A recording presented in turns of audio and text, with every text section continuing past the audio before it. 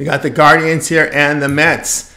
MLB pick here uh, for Sunday. This is game number one. You know, with the game on Saturday rained out, they play two on Sunday. Starters from game one here uh, will be from the Saturday contest. Tanner Bibee gets the start for Cleveland. Bibee has four starts in 2023, producing an ERA 3.22, whip of 1.03.